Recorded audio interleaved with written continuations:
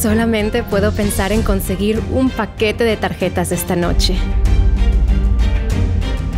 Es el tipo de jugador con el que realmente puedes construir una franquicia completa. Sofía. ¿Aceptarías estas cartas?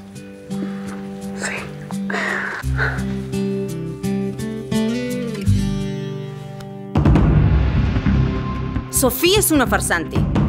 Ella ni siquiera tiene su tarjeta de novato. Ay, Dios.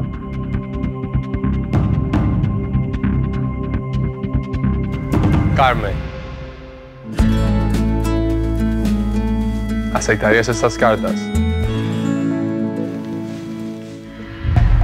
No estoy segura de quién se deslizará a cuarta base esta noche, pero sé que tendré un paquete de cartas cuando todo termine. La siguiente decisión va a ser difícil.